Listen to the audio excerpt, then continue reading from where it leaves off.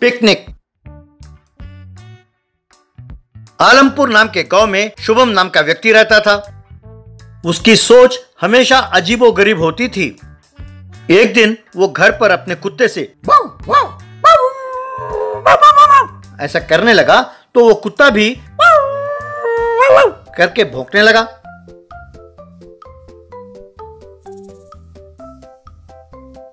तब अपने पिताजी से शुभम देखा पिताजी? मैं धीरे धीरे कुत्तों की बोली सीख रहा हूँ। बहुत ही जल्द मैं इनकी बोली पूरी तरह सीख जाऊँगा। क्या आप जानते हो कि वो कुत्ता क्या बोल रहा है? अरे कम्बक ये क्या कर रहा है तू?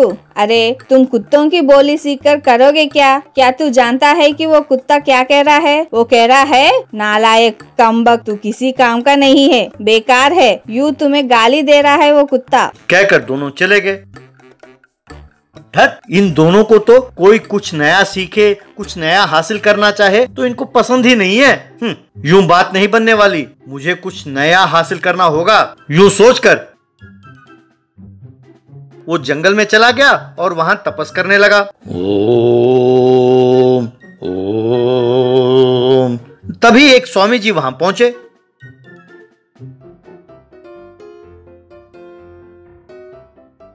बेटे, तुम्हारे तपस में विघ्न डाला, तुम बुरा ना मानना। ये पेड़ मेरा है। मैं इसी पेड़ के नीचे बैठकर तपस करता हूँ। मेरा फ़ोन का बैलेंस खत्म हो गया था तो मैं रिचार्ज करने चला गया था। वैसे तुम क्यों तपस कर रहे हो बेटा?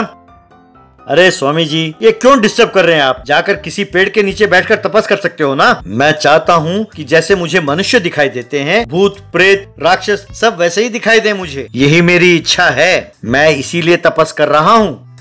अरे, इतनी सी बात के लिए तुम भगवान को क्यों डिस्टर्ब करते हो? तुम मुझे पाँच हज़ार रूपए गूगल पे कर दो और स्विगी में मेरे लिए अच्छा खाना ऑर्डर कर दो तो मैं तुम्हें ये वर दे सकता हूँ। ये क्या स्वामी जी ये फ़ोन रिचार्ज स्विगी गूगल पे, ये सब क्या है?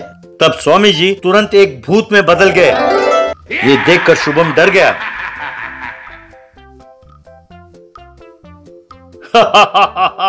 क्यों? तुम भूत को देखना चाहते थे ना? अब दिखाई दे रहा है तो डरते क्यों हो? मुझे तुम्हारी ये इच्छा बहुत अच्छा लगा। मैं कोई स्वामी जी नहीं हूँ, मैं एक भूत हूँ। अब से तुम्हें भूत, प्रेत, पिशाच सब दिखाई देंगे। वेलकम टू आवर वर्ल्ड कहकर गायब हो गया। वो जब गाँव लौट रहा था तो उसने देखा कि आदमियों के बीच में बहुत सारे भूत थे। ये देखकर वो बहुत खुश हुआ। एक बस स्टॉप पर वो खड़ा होकर पास खड़े लड़की से, देखिए, आपके पास एक भूत खड़ा है और वो आपको छूकर अश्लील हरकतें कर रहा है। देख लीजिए, उस लड़की ने पीछे मुड़कर देखा और शुभम को ज़ोर से थप्पड़ मारा। तभी एक व्यक्ति बाइक में एक भूतनी के साथ आया और वहाँ रुका। हाय रीटा, सॉरी, देर हो गई। आओ, आकर बैठ जाओ। फ़िल्म के लिए देर हो रही है। क्यों भाई? तुम तो भूतनी के साथ आए हो। लगता है वो तुम्हारी पत्नी है। पत्नी के मरते ही दूसरी औरत के साथ तुम संबंध बढ़ाते हो। बेशरम। तब उस आदमी ने शुभम को खींच के एक थप्पड़ मारा। अरे तो है कौन? मेरी पत्नी चाहे मरे या जिए तुम्हें इससे क्या लेना देना? मेरे निजी मामला से तुम्हें क्या लेना देना? लगता है ये कोई पागल है हेमन। अभी अभी कह रहा था मेरे पीछे भी कोई भूत है निकम्मा। चलो। यूँ वे दोनों चले गए।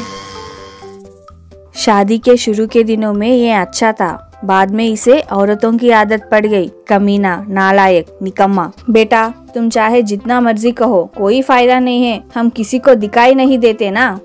धत, ये क्या? मैंने सोचा कि भूत दिखाई दे रहे हैं, कहूँगा तो सब खुश होकर मुझे हार पहनाएँगे। पर यहाँ तो उल्टा हो रहा है। लगता है कि ये वरदान बेकार है। मुझे इस वरदान की ज़रूरत नहीं है।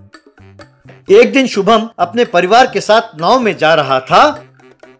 बेटे, आज तुम्हारे सीनू मामा ने हम सबके लिए पिकनिक का प्रबंध किया है। हम सब वहीं जा रहे हैं। ये लोग जब वहाँ पहुँचे, तब सीनू और उसकी पत्नी खाना वगैरह तैयार करके इनकी राह देख रहे थे। लेकिन उनके पीछे ही दो राक्षस खड़े थे। उन दोनों को देखकर, क्यों रे कमीनो कम तो तुम दोनों का यहाँ क्या काम? यहाँ से दफ़ा हो जाओ, वरना चप्पल से मारूँगा। ये बात सुनकर सीनू और उसकी पत्नी दंग रह गए।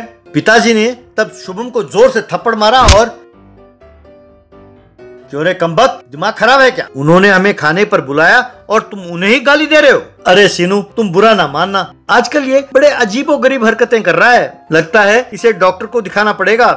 ये बात नहीं है पिताजी। इन दोनों के पीछे दो राक्षस खड़े हैं। मैं उन्हें डांट रहा था। देखो बेटा, ज़्यादा बकवास की तो बोरी में डालकर तुम्हें नदी में फेंक दूँगा। चुपचाप आकर खाना खाओ। यूँ सब खाने लगे तो सीनू और उसकी पत्नी खाना परोस रहे थे। वे शुभम को परोस रहे थे कि तभी उनके पीछे राक्षस भी आकर शुभम को परोसने लगे। अरे, शर्म नहीं आती तुम दोनों को? तुम्हारी शक्ल देख के मुझे घिन होता है। जाओ, दफ़ा हो जाओ यहाँ से। अगर तुम लोगों ने परोसा तो मैं खाऊँगा नहीं। अरे, शर्म करो। जाओ यहाँ से। तब सीनू और उसकी पत्नी को बहुत गुस्सा आया। उन दोनों ने शुभम को पकड़ खूब मारा। अरे ना मारो ना मारो। मैं आप लोगों को नहीं उन दोनों राक्षसों को गाली दे रहा था। कहकर चिल्लाने लगा पर उन सबको वहाँ पर कोई दिखाई नहीं दिया। तब शुभम वहाँ से उठकर अलग खड़ा हुआ। में एक बड़ा आईना लेकर वहाँ पहुँचा।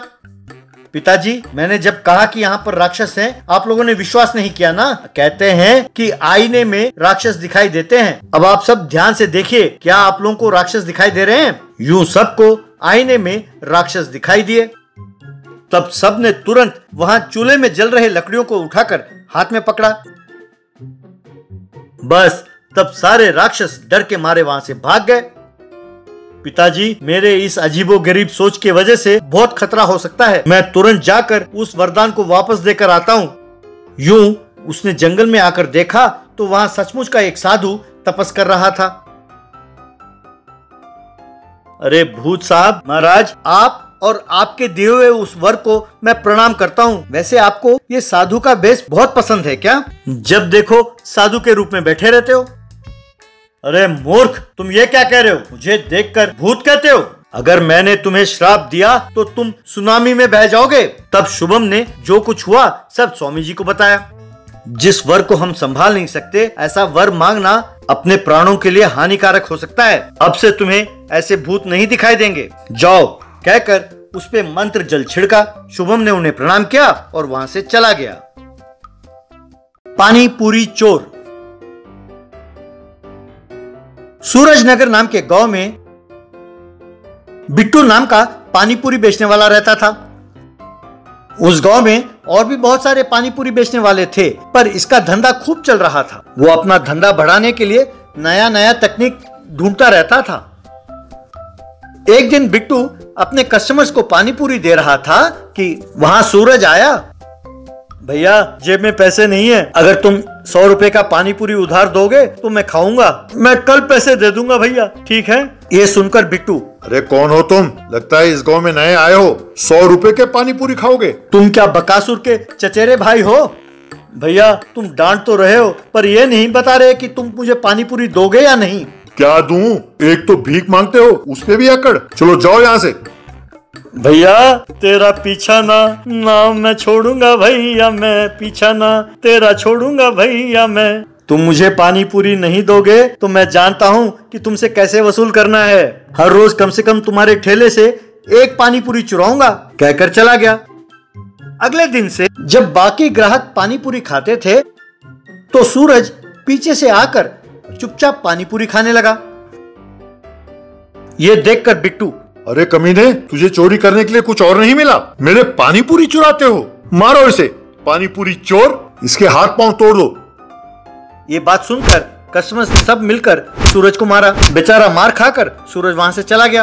अगले दिन बिट्टू कस्टमर से हाय फ्रेंड्स आज पानी पूरी का ठेला लगाकर पूरा एक साल हो गया है। इस अवसर पर मैं आप सबसे एक सवाल पूछता हूँ। जो इस सवाल का सही जवाब देगा, उसे एक महीने के लिए पानी पूरी मुफ़्त में दूँगा। तो सवाल ये है कि वैसे इस पानी पूरी को सबसे पहले किसने और क्यों बनाया? अरे, ये कौन सी बड़ी बात है? कोई घर पर पूरी बना रहा होगा और वो छोटा बन गया होगा। ये देखकर उसके बेटे ने उसमें पानी डाला होगा। ये देखकर उसके पिताजी को पानी पूरी का आइडिया आ गया होगा। फिर उसने ठेला लगाकर पानी पूरी बेचना शुरू किया होगा। इतने में वहाँ आकर सूरज कस्टमर्स के प्लेट से पानी पूरी को चुरा कर खाया। भाई साहब, आपने गलत जवाब दिया। मैं सही जवाब जानता हूँ। चोरे पानी पूरी चोर? एक तो तुम मेरा पानी पूरी चुरा कर खाते हो, ऊपर से मेरा जवाब गलत बोलते हो। भाई साहब, मैं मानता हूँ कि मैं चोर हूँ, पर यह जवाब गलत है। कई सदी पहले लोगों में एक अजीब बीमारी हुई। तब राजा ने कोई चटपटादार आहार तैयार करने के लिए कहा था। तब राज वैद्य ने बहुत सोचा और कई किस्म के मसाले डालकर ये पानी पूरी बनाया। ये सुनकर बिट्टू, तेरा सर कोई भी करे, पर मेरे जैसा पानी पूरी कोई नहीं बना सकता। जो एक बार यहाँ आ जाए फिर किसी और दुकान पर नहीं जाता? मैं वही सीक्रेट तो जानने के लिए आया था। ये पानी पूरी और इसका बनाने का रहस्य ये क्या है? आजकल गाँव में नशीले पदार्थ बेचने का बहुत काम चलने लगा है। सीबीआई ने जाँच पड़ताल के लिए मुझे भेजा है। इस बिट्टू के पानीपुरी में वो नशीले पदार्थ मिले ये देखिए, ये बिट्टू इस पानीपुरी में नशीले पदार्थ मिलाकर बेच रहा है। इतना ही नहीं, ये सारे राज्य के लिए यही नशीले पदार्थ का डिस्ट्रीब्यूटर है। ये सुनकर बिट्टू अरे तू है कौन? यूँ झूठ बोल रहे हो? ये पता नहीं कौन है। ये जानबूझकर मेरा धंधा ठप कराने के लिए नाटक कर रहा है। इस घटिया पानीपुरी चोर की बातों पर ना आइए आप लोग। तभी वहाँ पहुंचकर एसआई अरे कौन है चोर? ये सीबीआई के बहुत बड़े अफसर हैं। हर रोज तुम्हारे पास आकर पानी पूरी के सैंपल लेकर जा रहे थे। अभी अभी फॉरेंसिक रिपोर्ट आया है। अब बच्चू तुम फंस गए हो। तुम बाहर नहीं जा सकते।